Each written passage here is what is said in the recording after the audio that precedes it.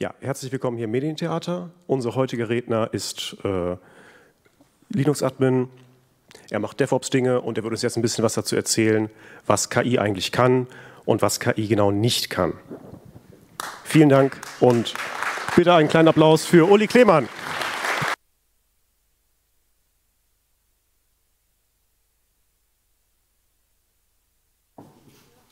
Nee? Jetzt doch. Okay, wunderbar. Ja, vielen Dank erstmal für den Applaus. Ich hoffe, ich kann mich gleich dafür revanchieren. Seit gestern wissen wir ja, die GPN ist eine Mitmachveranstaltung und lebt von Freiwilligen. Ich suche jetzt auch einen Freiwilligen, der hier als Proband mitmachen möchte. Darf natürlich auch gerne eine Dame sein, auch gerne mal jemand aus der letzten Reihe, weil die melden sich normalerweise nicht. Wer möchte zu mir hier nach vorne kommen? Tut nicht weh, wird nicht gebissen, steht auch keine Suchtgefahr. Keiner Lust? Ja, der Herr mit Sonnenbrille, kleiner Applaus. Lass dir nur Zeit, ich spiele noch kurz ein Video ab und dann erkläre ich dir kurz, um was es geht. Darfst aber gerne schon mal zu mir nach oben kommen. So, spiel jetzt ab.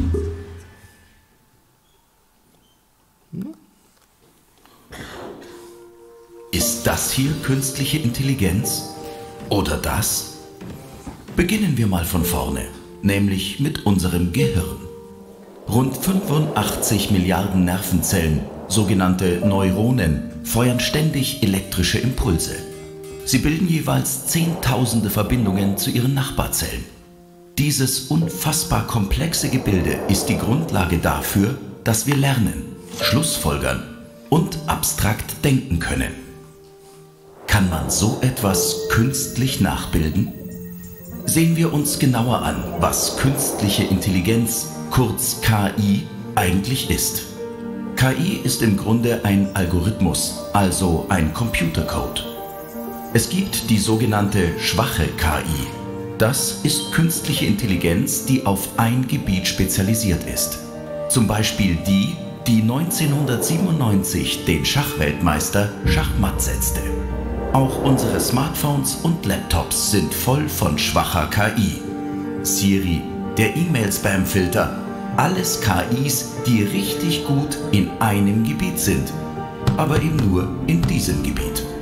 Richtig intelligent wird es erst, wenn die sogenannte starke KI erreicht ist, also KI, die über die gleichen intellektuellen Fähigkeiten verfügt wie ein Mensch.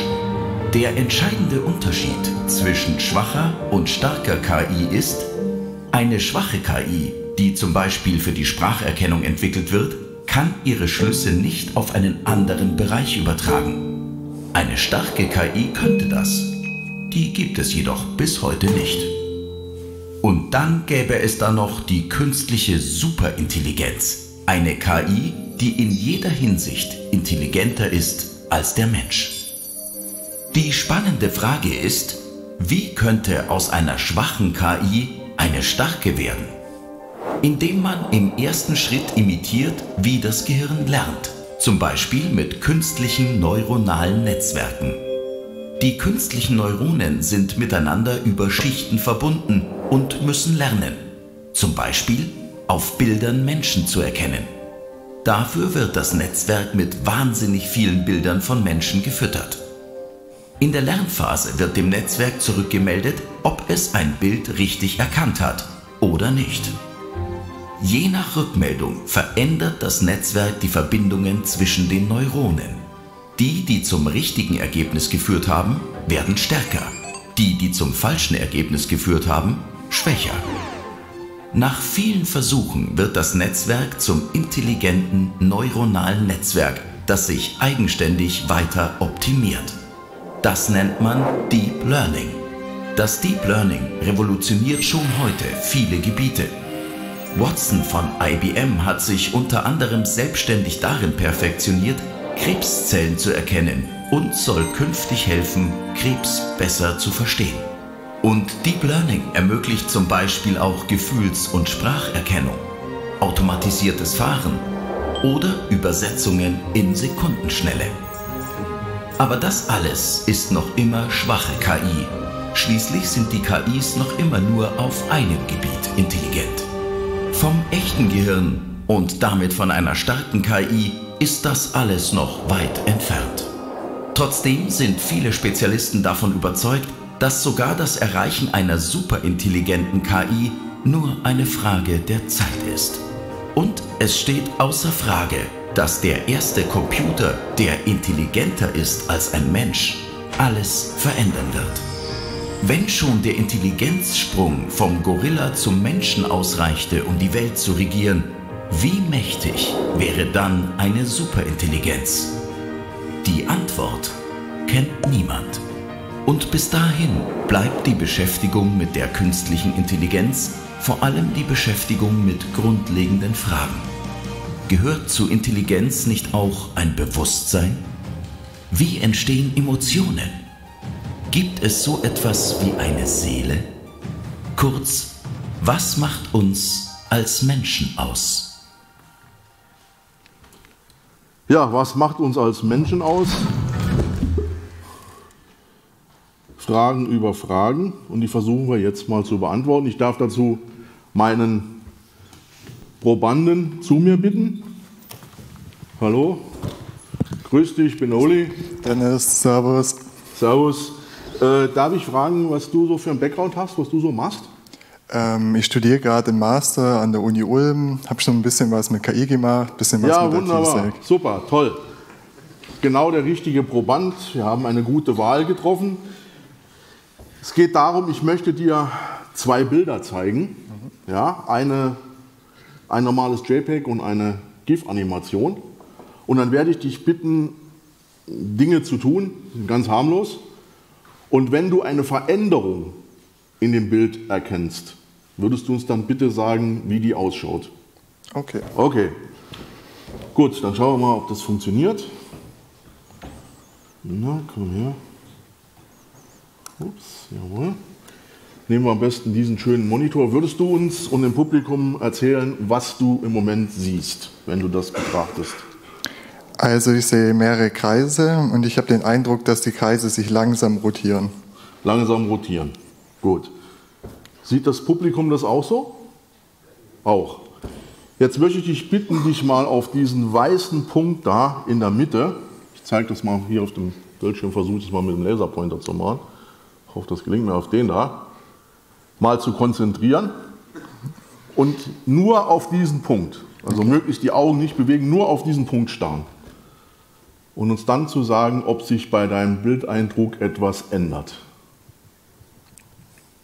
Der Kreis bleibt stehen. Der Kreis bleibt stehen, genau. Das ist aber ein ganz normales JPEG-Bild. Da bewegt sich gar nichts. Ja? Kann sich gar nicht bewegen. Ist überhaupt vom Dateiformat gar nicht für Animationen geeignet. Aber dennoch entsteht der Eindruck, sowohl bei euch als auch bei ihm, dass sich diese Kreise drehen. Kommen wir mal zum zweiten, das ist vielleicht noch spannender. Hm, Moment. Ist immer ein bisschen formuliert hier. Äh, jawohl. Wo haben wir den Giphy? Den Giphy. So, hier haben wir jetzt mal ein bewegtes Bild. Und würdest du uns wiederum sagen, was du hier erkennst? Du bist ja näher dran. Also ich sehe eine Figur und die läuft durch einen Tunnel und ich habe den Eindruck, dass die quasi immer weiter durch den Tunnel durchläuft. Durch den Tunnel durchläuft. Dürfte ich dich jetzt mal bitten, einen Ausfallschritt nach rechts zu machen, um mal von schräg auf das Bild zu schauen? Ändert sich da dein optischer Eindruck irgendwie? Also das kann jetzt funktionieren, es muss nicht. Ehrlich gesagt nicht. Also ich habe immer noch den gleichen Immer noch Eindruck. den gleichen Eindruck. Okay, bei manchen Menschen entsteht der Eindruck, dass sich die Figur schneller bewegen würde. Was aber auch nicht der Fall ist. Was ich damit zeigen wollte ist, Ja doch. doch, Wenn man, wenn man drauf, mehr drauf achtet, man mag. okay, wunderbar, Dankeschön. Ja, was wollte ich damit jetzt zeigen? Unser so hochkomplexes und hochleistungsfähiges Gehirn, und zwar auch das eines doch intelligenten Menschen, lässt sich mit relativ einfacher Manipulation wie wir gesehen haben, überlisten. Woran liegt das? Nun, beim ersten Bild, wenn wir nur diesen weißen Punkt in der Mitte fixieren, dann merkt unser Gehirn aufgrund unseres Sehsinnes, aha, im Moment spielt nur dieser weiße Punkt in der Mitte eine wesentliche Rolle, also blende ich alles andere aus. Brauchen wir nicht. Und damit bleiben die Kreise vermeintlich stehen. Bei der zweiten Animation ist es ähnlich. Ja? Am Anfang schauen wir auf die Figur, gerade, und dann verändern wir unseren Blickwinkel. Und dadurch entsteht in unserem Gehirn der Eindruck, dass die Figur ihr Tempo erhöhen würde, was aber gar nicht der Fall ist. Dankeschön, darfst gerne hier bei mir auf der Bühne bleiben, nimm Platz, genieß es. Ja, machen wir gerade weiter mit optischen Täuschungen, weil es so schön ist. Das hier kennen wahrscheinlich die meisten von euch, die berühmte Müller-Leyersche Täuschung, also die Frage, welches der beiden Linien ist vermeintlich länger. Und die übliche falsche Antwort lautet die untere. Dabei sind die genau gleich lang. Woran liegt das nun, dass wir als gebildete Europäer auf so einen einfachen Trick hereinfallen? Nun, die Antwort ist recht trivial und auch ziemlich überraschend. Ups, das war jetzt die falsche. Stopp, Entschuldigung. Den, den zuerst. Das hat damit zu tun, dass wir die meiste Zeit unseres Lebens in sowas verbringen. Unsere Behausungen sind rechteckigen quadratischen Grundrisses. Wir haben gerade Kanten, rechte Winkel und Ecken. Daran sind wir gewohnt.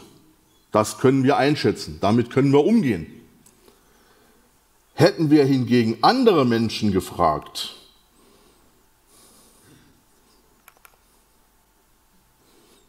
Zum Beispiel diese hier, die in solchen Behausungen leben. Die hätten unsere Frage mit den beiden Pfeilen gar nicht verstanden. Und zwar nicht, weil sie uns geistig unterlegen sind. Sie hätten den Sinn der Frage gar nicht verstanden. Ihnen wäre von Anfang an klar gewesen, dass die beiden Linien gleich lang sind. Denn sie sind nicht geprägt durch gerade Linien, Kanten und rechte Winkel. Sie erkennen die Manipulation sofort. Wir nicht. Schon merkwürdig, ne? So, dann kommen wir jetzt mal so langsam in den Vortrag. Weil langweilige Hausaufgaben wollen wir ja nicht machen. Ja, besser natürlich dumm als künstlich intelligent. Ein Beispiel für intelligentes, smartes Parken. Minimaler Platzverbrauch, aber funktioniert leider nur einmal. Bin mal gespannt, ob der auch geht. Nee. Doch, geht. Ja, kurz im Präambel. Es ist längst keine Zukunftsvision mehr. Und wie wir eben aus dem Video gehört haben, KI ist ein Algorithmus, das stimmt nur zum Teil. KI ist eher ein Traum. Ein Traum, den die Menschheit schon lange träumt. Ja, wer ich bin, dazu hatten wir schon. Und der Traum ist, das da nachzubauen. Gute Nachricht, jeder von uns hat sowas, nennt sich Gehirn. Zweite gute Nachricht, jeder benutzt es, Dritte Nachricht, nicht mehr so gut, leider nicht gleichartig. Und dieses etwa 1,5 Kilo äh, Kilogramm schwere Gebilde aus Eiweiß, Bindegewebe und Fett, ja, dieses Teil nachzubauen, das ist ein Wunsch, den die Menschheit schon lange träumt, aber davon sind wir noch sehr, sehr weit weg. Denn dieses Organ ist viel komplexer als der derzeit leistungsfähigste Superrechner, den wir auf der Welt haben. Und dennoch, wie wir gesehen haben, ist dieser Hochleistungscomputer mit ganz einfachen Mitteln auszutricksen. In manchen Disziplinen ist uns der Hochleistungsrechner eindeutig überlegen. Er kann sich Milliarden von Datensätzen merken innerhalb kürzester Zeit. Wir schaffen gerade mal so im Durchschnitt sieben Sachen uns zu merken. Und wenn wir dann nachts im Bettchen liegen und die Traumphase ist vorbei und wir fallen in den Tiefschlaf, dann geht unser Gehirn ganz automatisch hin und selektiert, was von den Sinneseindrücken des Tages kommt auf die Festplatte und was schmeiße ich aus dem flüchtigen Arbeitsspeicher raus, was brauchen wir nicht mehr. Auf gut Deutsch, was können wir vergessen?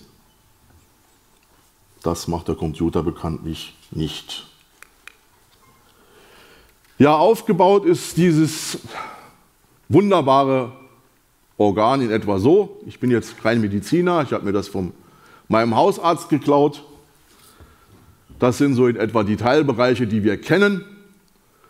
Was ist für was zuständig? Das heißt aber noch nicht, dass wir bis zuletzt wüssten, wie diese einzelnen Teile im Detail funktionieren. Haben wir zufällig medizinisches Fachpersonal hier, ein Arzt oder eine MFA, radiologische Assistentin oder sowas? Nein? Irgendjemand, der mit Lebensversicherung oder Krankenversicherung zu tun hat? Braucht euch nicht zu schämen, ist ein ehrenwerter Beruf. Habe ich auch mal gemacht. Nein? Schade. Ich wollte eigentlich den Stefan Streit gewinnen, aber der musste nach Hause.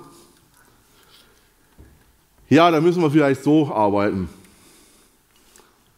Frage ich mal nach vorne die Dame. Was glaubst du hier zu sehen?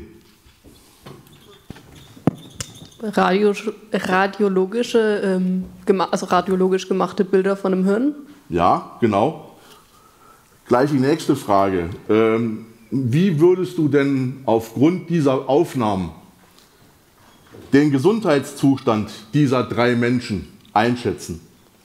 Äh, da fühle ich mich jetzt nicht in der Lage, die Frage zu beantworten. Fragen wir vielleicht mal jemand anders nach seiner Meinung. In der Teilnahme waren drei normale Gehirne. Normale, ja. Normal. Genau, das ist der Punkt. Diese drei Patienten, bei dem ersten Gehirn handelt es sich um einen damals etwa mit 40-jährigen französischen Beamten mit Frau und zwei Kindern. Bei dem zweiten Gehirn um ein damals dreijähriges Mädchen. Ja, bei dem dritten Gehirn kann ich jetzt ehrlich gesagt nicht mehr sagen, was es, was es war.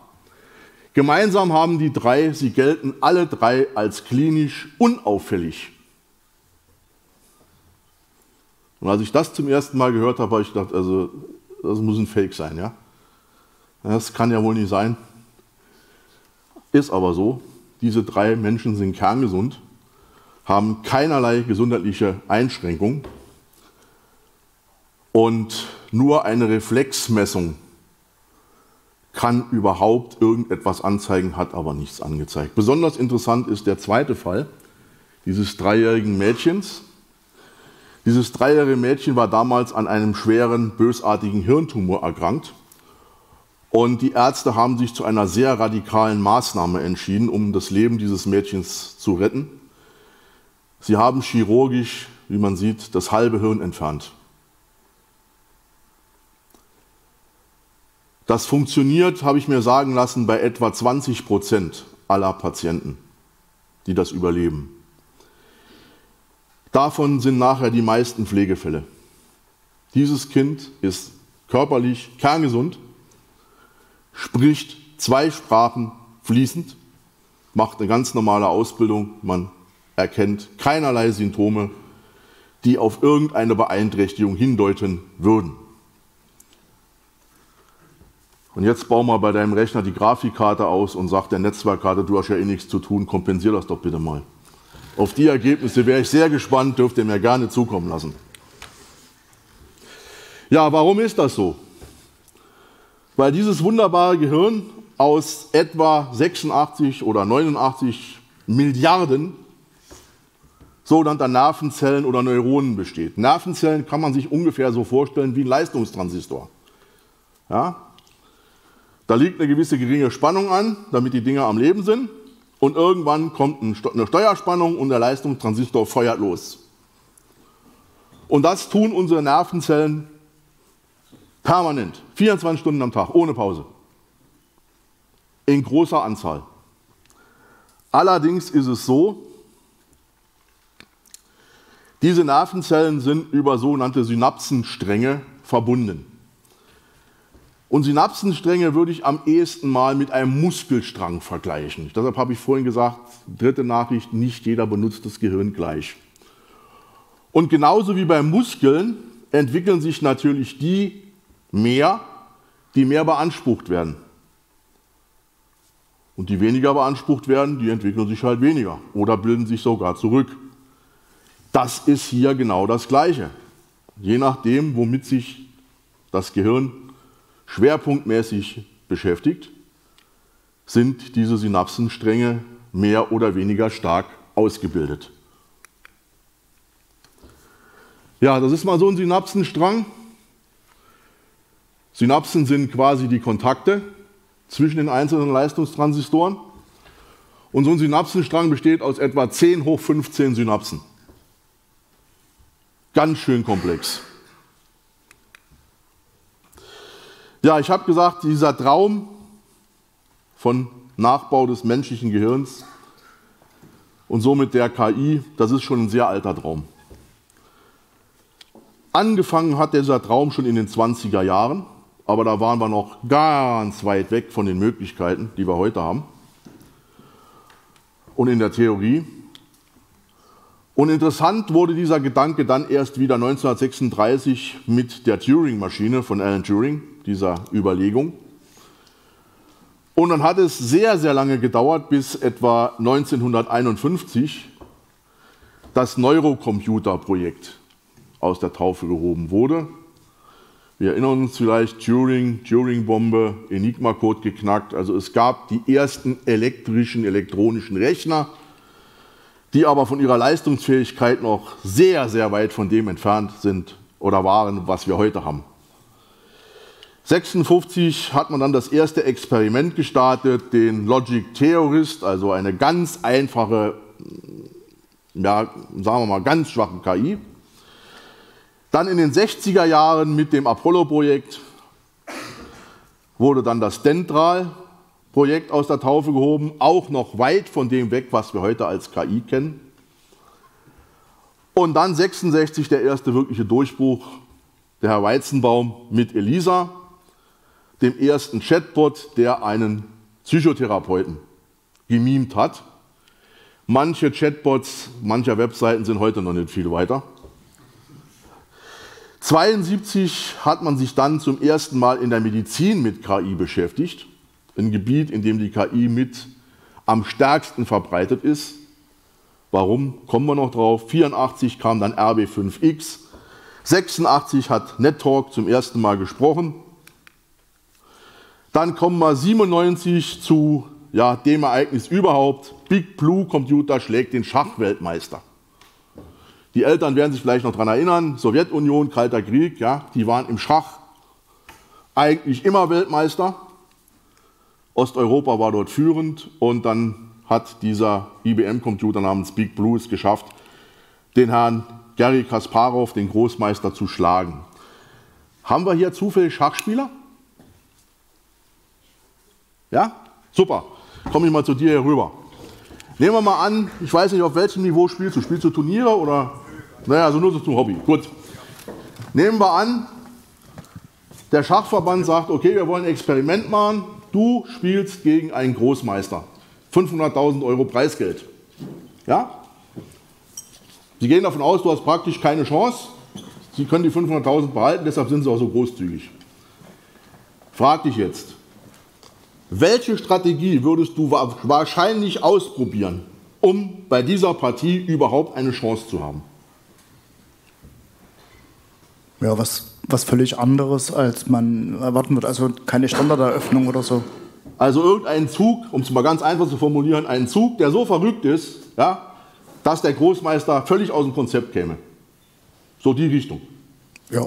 Genau das hat Big Blue gemacht. Big Blue hat einfach gesagt, okay, ich mache jetzt einen Zug und hoffe, dass der Kasparov dabei so aus dem Konzept kommt, dass er sich für Schachmatt erklärt.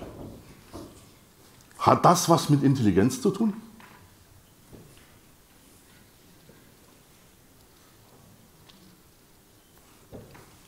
...2011, ja, KI erreicht den Alltag, wird zum ersten Mal groß drüber gesprochen, weil eine KI namens Watson, übrigens wieder von IBM, gewinnt eine Quizshow, und zwar Jeopardy. 2018 fängt die KI an zu debattieren, und zwar über Raumfahrt und vereinbart sogar für eine Dame einen Friseurtermin. Ja, und jetzt sind wir bei 2023. Wo sind wir angelangt? Wo, wo geht die Reise hin? Wie geht es weiter? Dazu habe ich mal sechs Thesen aufgestellt, frei nach Luther. Erste These, können Maschinen denken? Wer würde sagen, wer glaubt, dass eine Maschine denken kann? Ja? Okay. Was konnte Big Blue besser als Kasparov? Nun, Big Blue hat über den Sinn seiner Züge nicht nachgedacht. Big Blue hat einfach gesagt, hm, ich habe eine riesen Datenbank, da sind alle möglichen Partien der letzten 100 Jahre gespeichert.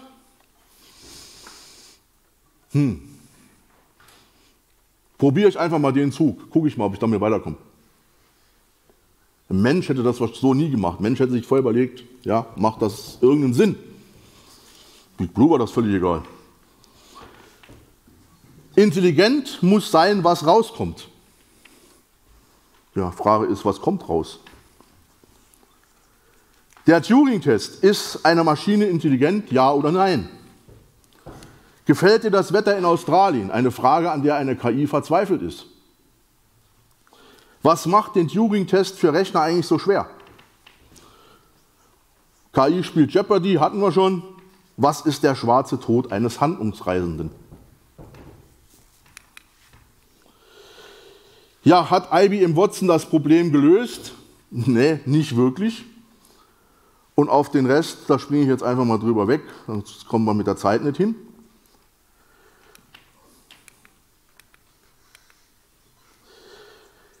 Ja, fangen wir mal mit der Frage an, wann gilt eigentlich etwas als intelligent? Frage ich einfach mal. Wenn es eine strategische Aufgabe effizient lösen kann, ist ein solches System eurer Meinung nach dann intelligent?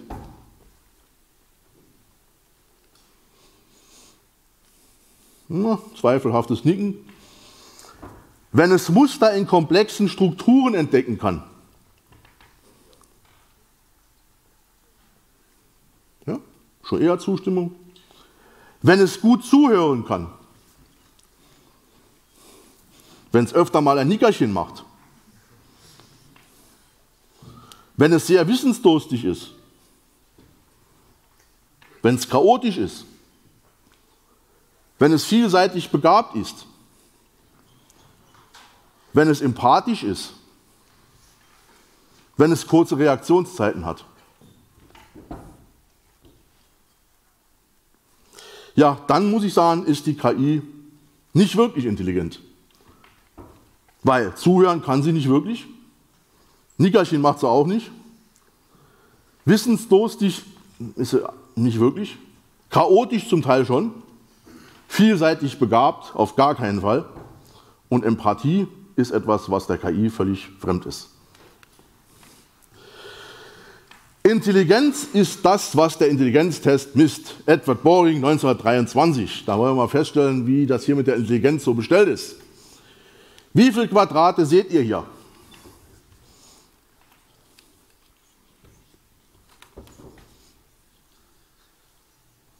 Hm? 26. 27. 35. 35. Wer bietet mehr oder weniger? Ja? 36, 37, 42, ist immer richtig. 42, ja. Herzlich willkommen im Club der Intelligenten. Du bist am nächsten dran, es sind 40. Der Rest leider nicht intelligent nach dieser Definition. Gut, ich gehöre auch zum Club der Doofen. Herzlich willkommen. Ja, was ist Intelligenz überhaupt? Da wundert sich der Laie und die Fachleute streiten sich. Sie konnten sich bis heute noch nicht auf eine eindeutige Definition so wirklich einigen und haben das dann mal umschrieben mit Fähigkeit, sich neuen Situationen durch Einsicht zurechtzufinden und Aufgaben durch Denken zu lösen.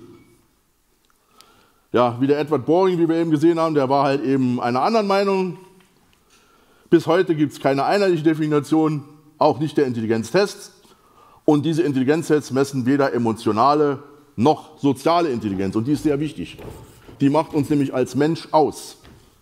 Eine Maschine hat keine Freunde. Eine KI gratuliert dir, freudestrahlend zum Todestag deiner Mutter. Versteht gar nicht, dass du da nicht begeistert bist ja, und dich freust. Denkt sich überhaupt nichts dabei. Ein Mensch käme niemals auf so eine Idee. Aber eine KI, kein Problem.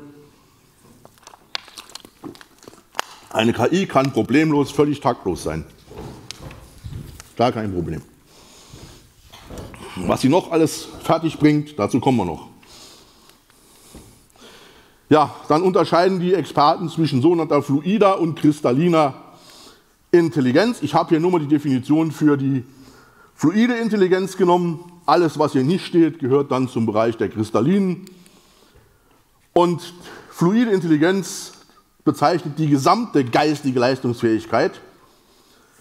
Also wie gut seine geistigen Fähigkeiten funktionieren, das heißt logische Schlussfolgern, Verarbeitungsgeschwindigkeit von Informationen, seine Konzentration, habe ich sogar zweimal erwähnt, die Merkfähigkeit und das sogenannte Arbeitsgedächtnis. Das sind alles Eigenschaften, die für einen Fachidioten eine eher untergeordnete Rolle spielen. Ja, was ist dieses berühmte Arbeitsgedächtnis? Auch da habe ich lange nach einer Definition gesucht, die man verstehen kann. Eine Serie von Prozessen, was uns erlaubt, kurzfristig Informationen zu speichern, zu verarbeiten und komplexe kognitive Aufgaben wie beispielsweise Sprachverständnis, Lesen, Lernen oder logisches Denken überhaupt durchzuführen. Anders formuliert, es ist eine Art Kurzzeitgedächtnis für Nerds RAM.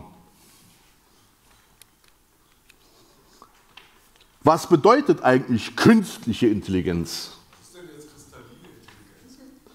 Ja, alles das, was nicht fluid ist. Also Fachwissen und ähnliche Dinge. Ja?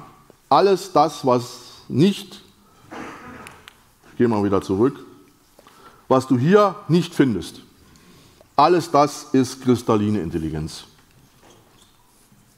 Zeichnet in der Regel, wie gesagt, Menschen aus, die wir so intern als Fachidioten beschimpfen, weil die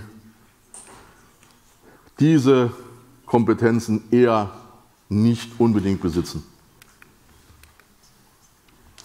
Aber was bedeutet dieses KI überhaupt? Ja, was ich schon gesagt habe. Es ist der Versuch, bestimmte Entscheidungs- Strukturen des Menschen nachzubilden, indem ein Computer so gebaut wird und programmiert wird, dass er relativ eigenständig Probleme bearbeiten kann, sagt Wikipedia. Ich sage, es ist der Traum, dieses anderthalb Kilo Organ nachzubilden. Starke und schwache KI, ja, hatten wir in dem Video schon kurz drin. Alles das, was wir bis jetzt an KI haben, so faszinierend das für uns sein mag, zählt zur sogenannten schwachen KI. Eine starke KI ist bisher noch nicht einmal entwickelt.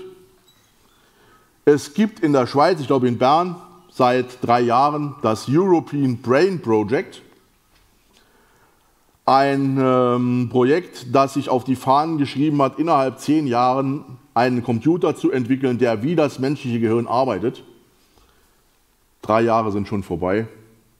Die Ergebnisse sind eher dürftig. Von einer starken KI sind wir noch sehr, sehr weit weg. Und von einer Super-KI, ich glaube nicht, dass wir die noch erleben werden. Ja, die lange Geschichte hatte ich vorhin schon ein bisschen angesprochen. Wie gesagt, 1920 ging das schon los. Brauchen wir jetzt nicht wieder reinzugehen, bis zum geht nicht mehr. Ja, der Logic Terror, äh, Theorist ging da um wissenschaftliche Fragen. Vergleichsweise wirklich simpel. Können wir, glaube ich, jetzt drüber wegspringen. Schachweltmeister haben wir, haben wir erreicht. Ja, 2011, wie gesagt, hatten wir zum ersten Mal entsprechend starke Prozessoren und Software, die das ermöglicht haben. Watson gewinnt Jeopardy.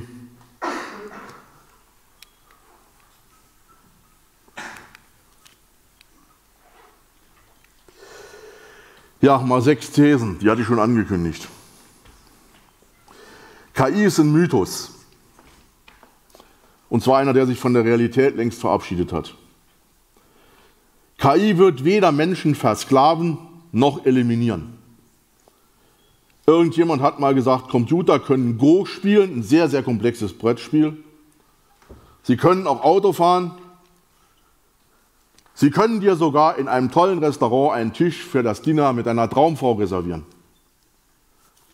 Aber die KI wird niemals begreifen, wie geil das ist, mit der Frau dort zu essen. Das ist ihr völlig fremd. Andere These, KI ist ein Missverständnis. Ein sogenannter Kategoriefehler. Also es werden zwei fundamentale Kategorien verwechselt. Das Lösen strategischer Probleme und das Bewusstsein. Und was das Bewusstsein ist und wie das Bewusstsein funktioniert, das kann bis heute noch nicht erklärt werden. Das Bewusstsein, welches in der Fähigkeit besteht, auf die Komplexität der Welt mit Gefühl und Kreativität zu antworten. Ob eine KI kreativ ist, darauf kommen wir noch. Und zwar das Ganze, um intelligent im humanoiden Kontext zu sein. Denn darum geht es ja. Die KI soll uns quasi als künstlicher Mensch entgegentreten. Um das aber zu schaffen, müssten Maschinen aus Fleisch und Blut bestehen, Schmerz und Sterblichkeit besitzen und Gefühle wie Freude und Leid empfinden können. Können sie aber nicht. Noch nicht einmal Mitleid, ja? Eine Kreissäge sägt dir die Finger ab. Von Mitleid keine Frage. Ja, tut sie einfach. Dass sie dir dabei höllische Schmerzen zufügt und einen irreversiblen Schaden, ist der Maschine egal. Maschinen haben keine Freunde. KI ist ein Meister der Prognose. Ja, Prognosen erstellen kann die KI gut. Über die Qualität der Prognosen ist ein anderes Thema. Sie erzwingt ein Upgrade menschlicher Intelligenz und Empathie. Ja. KI wird uns dazu zwingen, über unser Miteinander neu nachzudenken und unser Verhalten entsprechend zu ändern. Sie ist ein Jobshifter, aber kein Jobkiller.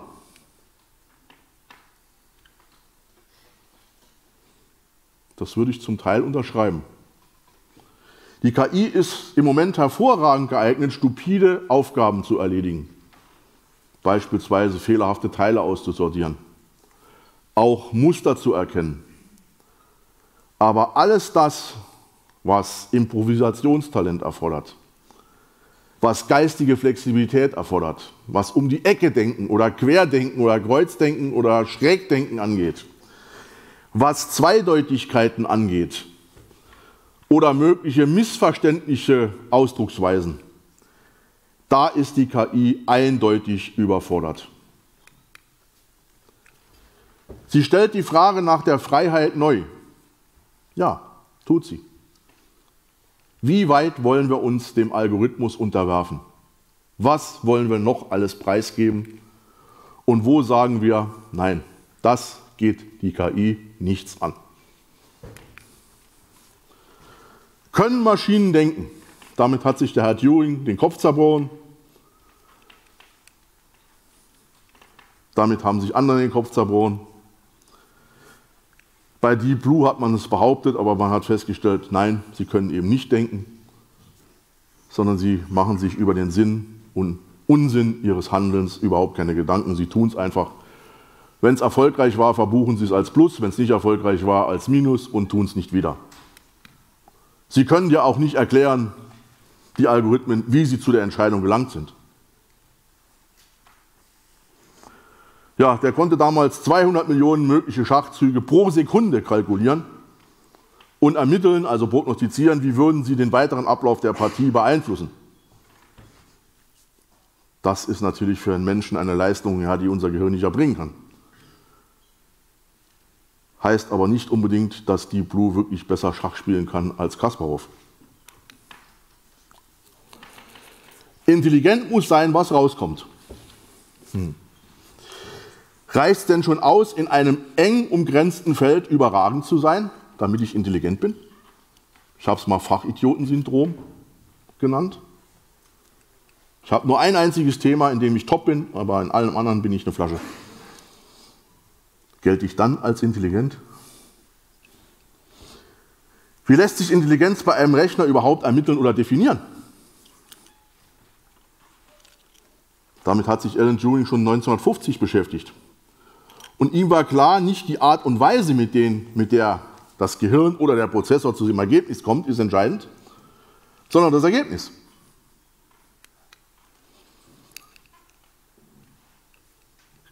Und er hat den Turing-Test erfunden, der da besagt, kann ein Mensch in einem Dialog mit einem für ihn nicht sichtbaren Partner unterscheiden oder nicht unterscheiden, ob er da mit einem Menschen den Dialog führt oder mit einem Computerprogramm.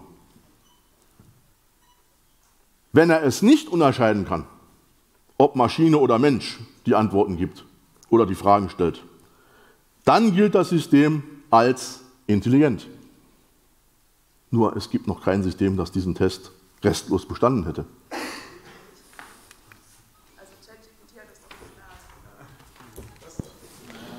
Beispiel, gefällt dir das Wetter in Australien?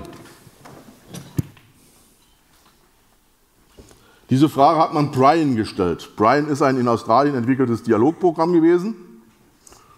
Und bei Standardfragen hat es sich auch ganz wacker geschlagen. Und dann hat man ihm halt die Frage gestellt, gefällt dir das Wetter in Australien? Da kam noch was. Kam die Folgefrage, schneit es dort im Winter? Antwort, nein, habe ich leider nicht. Ja, spätestens jetzt dürfte klar sein, Brian ist entweder überhaupt nicht bei der Sache oder, oder eben nicht menschlich. In dem Fall war es das Zweite. Was macht diesen verdammten Turing-Test für Rechner eigentlich so schwer? Sie scheitern am grundlegendsten überhaupt, und zwar in unserer menschlichen Sprache. Die ist mit all ihren Nuancen, ihren scheinbaren Widersprüchen so komplex, dass sie als Königsdisziplin der KI betrachtet werden kann. Gibt für eine KI nichts Schwierigeres, als menschliche Sprache zu analysieren und zu erkennen. Und es geht dabei nicht nur um die lexikalische Bedeutung von Wörtern. ChatGPT, so toll das aussehen mag, was macht ChatGPT? Erkennt Sprachmuster und setzt Wörter einigermaßen sinnvoll aneinander. Aber wenn du von dem Thema wirklich Ahnung hast und das mal liest, was ChatGPT da zusammenschreibt, dann merkst du ganz schnell, das war kein Mensch. Das war eine Maschine. Sprache zu verstehen bedeutet auch Assoziationen zu erkennen, zwischen Wichtigem und Unwichtigem unterscheiden zu können. Ironie, Witze, Wortspiel richtig zu dekodieren. Alles Aufgaben, mit denen eine KI bis heute total überfordert ist. Ja, Jeopardy hat Watson geschafft, okay. Die Frage war, was ist der schwarze Tod eines Handlungsreisenden? Der einzige Weg, um auf die Antwort zu kommen, besteht darin, Informationsbrocken aus verschiedenen Quellen zusammenzusetzen. Der Kandidat muss den Titel des Theaterstücks Tod eines Handlungsreisenden von Arthur Miller muss er damit ihm das was sagt. Und er muss wissen, dass die Pest den Beinamen der schwarze Tod trug. Und das muss er halbwegs sinnvoll kombinieren. Sonst wird er nicht auf die Antwort kommen, ob Mensch oder Maschine.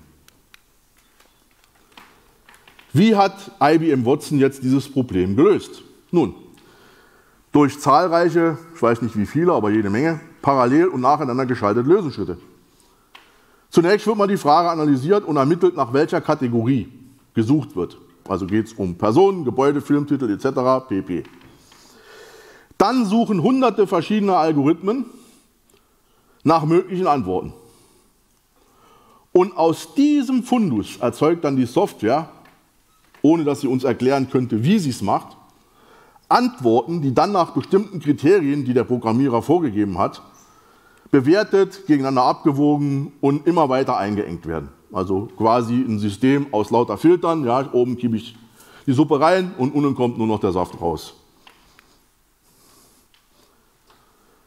Das Geheimnis der Musterbildung, auch damit hat sich die Wissenschaft jahrhundertelang beschäftigt. Woher weiß die Sonnenblume, wie sie ihre Kerne anordnen soll? Oder woher die Zellen eines Embryos, wo sie Beine, Arm oder Kopf bilden sollen?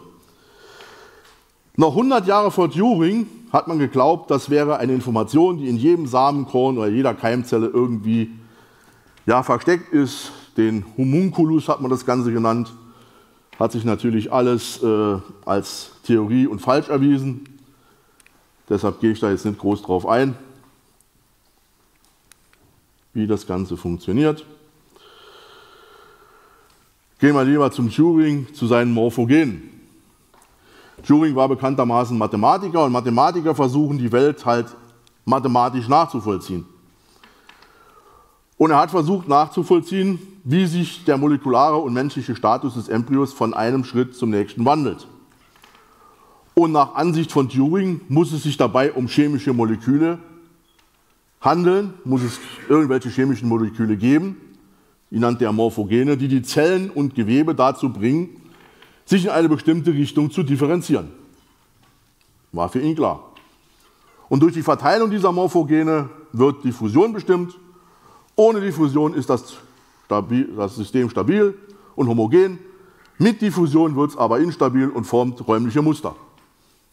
Wissen wir heute alles, ja, Missbildungen sind meistens dadurch bedingt, dass irgendwelche genetischen Defekte vorliegen. Zu seiner Zeit wusste man das nicht.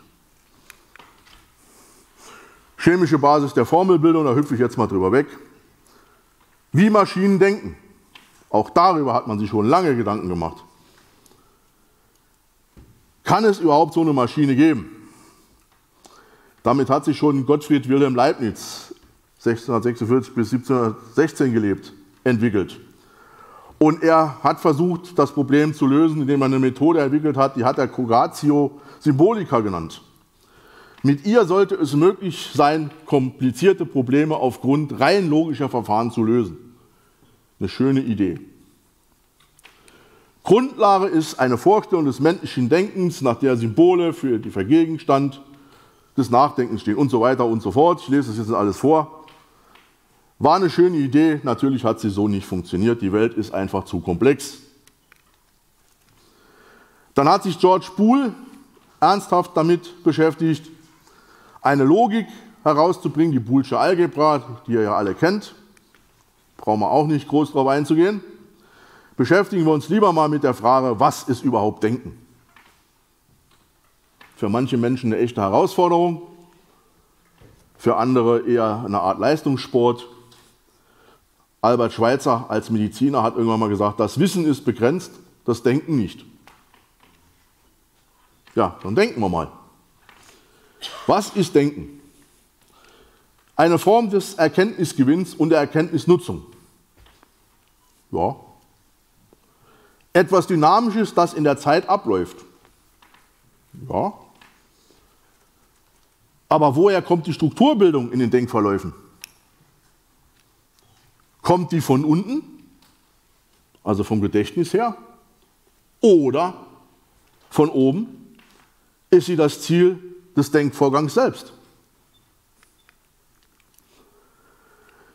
Damit hat sich schon Aristoteles den Kopf zerbrochen. Und er war der Meinung, Denken kommt von unten. Also die Assoziativitäten zwischen Gedächtnisinhalten, hoppla, schwieriges Wort, verleihen dem Denken die Richtung. Anders ausgedrückt, was beim Wahrnehmen in Raum und Zeit zusammen vorkommt, was ähnlich erscheint oder gegensätzlich wirkt, das prägt sich auch in unser Gedächtnis ein. Das war seine, seine Ansicht, wie Denken funktioniert. Andere Ansicht, Denken von oben.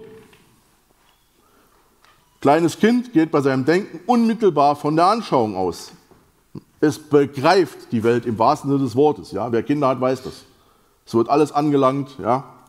in den Mund gesteckt, ausprobiert. Und durchsetzt dann seine Anschauung mit seinen bildhaften Fantasien, kann aber äußere Realität und inneres Erlebtes noch nicht sicher trennen. Wenn das Kind älter wird, entsteht eine sogenannte kritische Prüfung, also ein Vergleich mit der Wirklichkeit. Und die sekundären Denkvorgänge entstehen dadurch, dass Anpassung an das Realitätsprinzip es kennzeichnet. Das Kind fängt langsam an, wie ein Erwachsener zu denken. Bei den Naturvölkern hingegen sieht das völlig anders aus. Das Denken der Naturvölker sieht so aus, dass sich alles auf alles bezieht.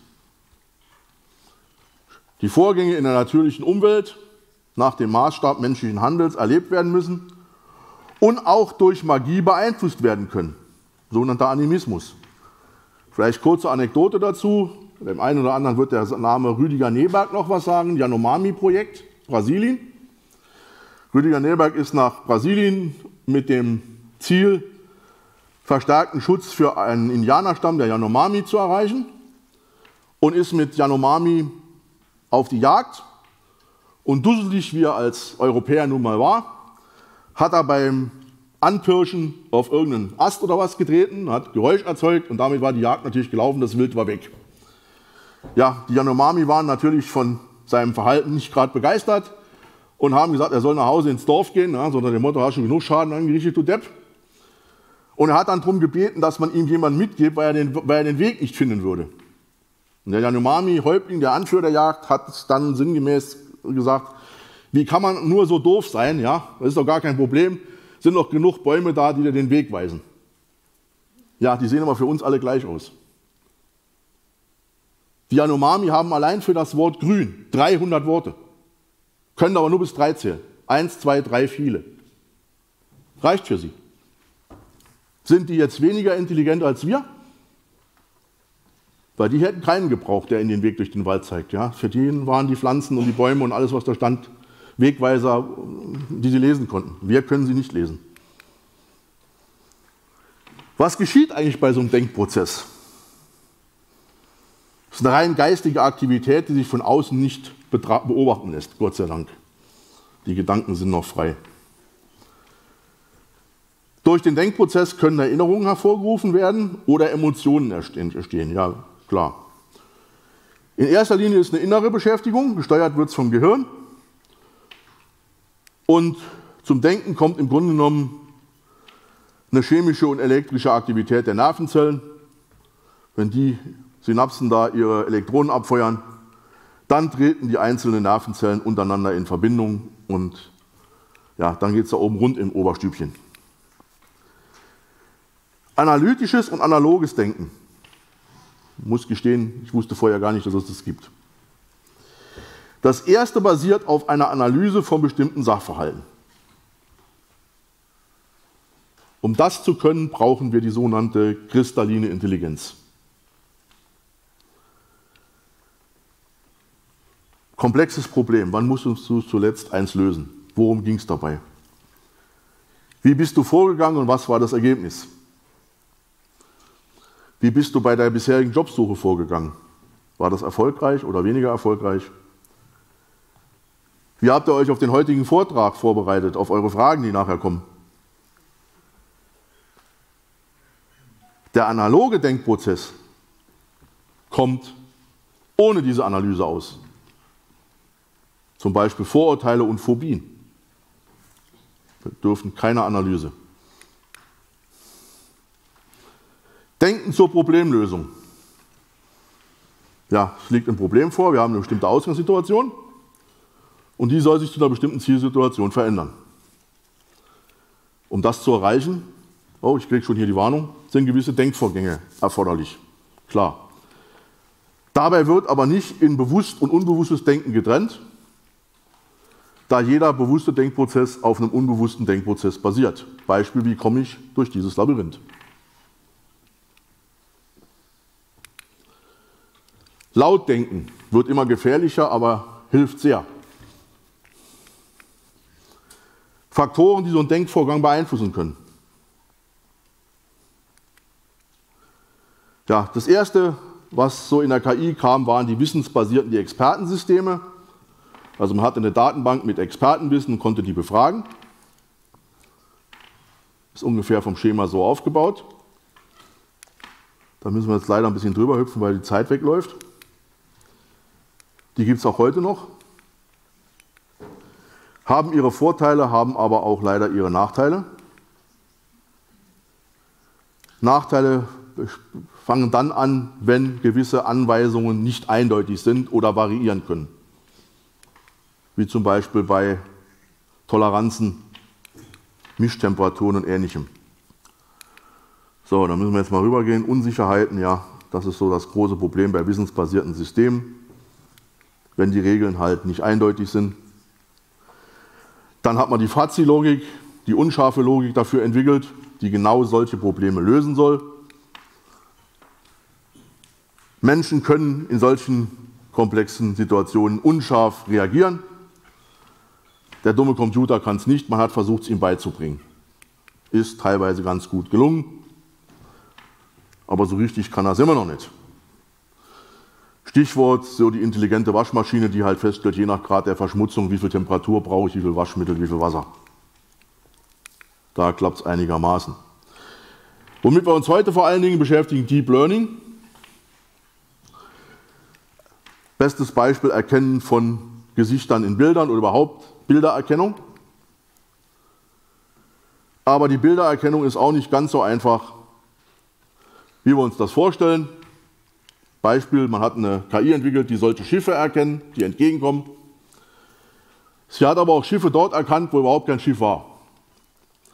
Also hat man sich die sogenannte Heatpipe zeigen lassen und gesagt, liebe KI, sag mir mal, an welchem Kriterium machst du denn fest, Schiff oder nicht Schiff? Das Kriterium war Wasser. Wenn Wasser vorhanden war, dann gab es da auch ein Schiff. Ja, neuronale Netze, das geht dann schon wirklich in die Richtung wir bauen etwas nach, was in etwa so funktioniert wie unser Gehirn, bestehend aus vielen, vielen, vielen Nervenzellen und Verbindungen, schmeißen da oben nach dem Nürnberger Trichterprinzip jede Menge Informationen rein und lassen dann dieses neuronale Netzwerk mal arbeiten und gucken mal, was hinten dabei rauskommt. Manchmal kommen da ganz komische Sachen raus. Stichwort wieder Bildererkennung. Man wollte eine Bildererkennung, die Wölfe von Hunden unterscheidet. Das hat man gemacht. Man hat das neuronale Netz gefüttert mit jeder Menge Bilder von Wölfen und jeder Menge Bilder von verschiedensten Hunden. Und dennoch hat im Ergebnis das System immer wieder normale Hunde als Wolf definiert. Ja, warum denn? Nun, man hatte folgenden Fehler gemacht. Alle Wölfe, alle Bilder von Wölfen wurden im Winter aufgenommen, als Schnee lag. Und jedes Mal, wenn das System auf dem Bild erkannt hat, da ist Schnee, war klar, das Tier muss ein Wolf sein. War es aber nicht. So. Deep Learning, auch so ein schöner Stichwort, im Grunde nur eine von vielen Methoden. Neuronales Netz, ja, so ungefähr funktioniert. Es gibt einen Input, es gibt eine Schicht für Knoten, es gibt Zwischenschichten. Man kann sich das auch vorstellen wie so eine große Getreidemühle. Oben kippst du Getreide rein und ganz unten kommt dann ganz feines weißes Mehl raus und in den Zwischenstufen eben halt das Gröbere ja, und das Müsli und was weiß ich muss jetzt leider ein bisschen Gas geben, die Zeit läuft weg. Neuronen, brauchen wir jetzt, denke ich, nicht mal groß drüber zu gehen. Ja, es, es ist immer noch eine Blackbox, weil wir nicht wissen, ich muss jetzt leider aufhören, wie das Ding funktioniert. Kurz und gut, um zum Ende zu kommen. KI ist bei Weitem nicht das, was viele Menschen sich darunter vorstellen. Von starker KI sind wir wahrscheinlich noch Jahrzehnte weg. Von super starker KI, ich weiß es nicht, wie lange das noch dauern wird und ob sich das jemals realisieren lässt. Und deswegen bin ich nach wie vor der Meinung, Besser natürlich dumm als künstlich intelligent. Danke fürs Zuhören und fürs Kommen.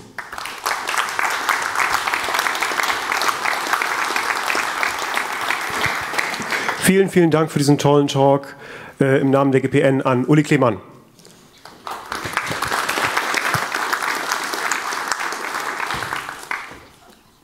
Bitte verlasst den Saal noch nicht, denn äh, um 14.30 Uhr beginnt das Closing.